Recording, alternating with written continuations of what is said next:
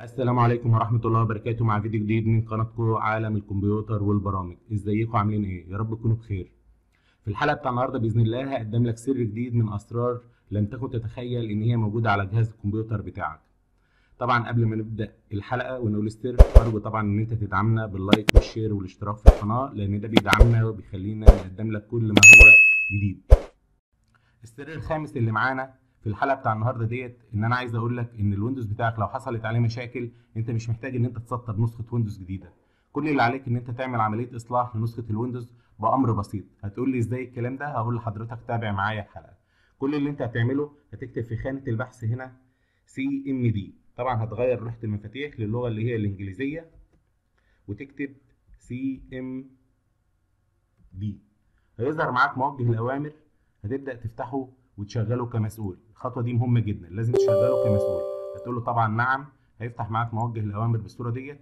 هتبدأ تحط الأمر اللي أنا هقول لحضرتك عليه وهتركه لك في قلب صندوق الوصف بتاع الفيديو.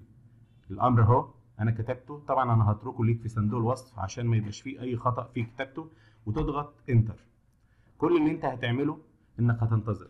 الأمر ده هيبدأ بمراجعة كل ملفات ال Windows اللي موجودة على جهاز الكمبيوتر بتاعك ويقوم بإصلاحها حتى لو في ملف اتحذف بالخطأ هيرجعه لك لو انت لاحظت ان هو ظهر لك اهو نوع نسخة ال Windows اللي موجودة على الجهاز بتاعك. جاب لك الموديل بتاعها ال version بتاعها وكتب لك الرقم اللي موجود عندك.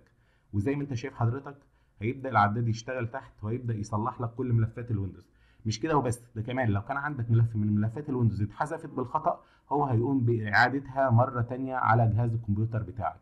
كل اللي انت هتعمله ان انت هتنتظر لحد ما الأمر ده يخلص ويقول لك إن تم الإصلاح بنجاح وبعد كده حضرتك هتروح عامل إعادة تشغيل لجهاز الكمبيوتر بتاعك هتلاقي جهاز الكمبيوتر بتاعك كل المشاكل اللي عليه اتحلت وانتهت. طبعا بكده الفيديو بتاعنا النهارده يكون انتهى. لو انت استفدت منه وتعلمت شيء جديد ما تنساناش طبعا من ال like وال share والاشتراك في القناة.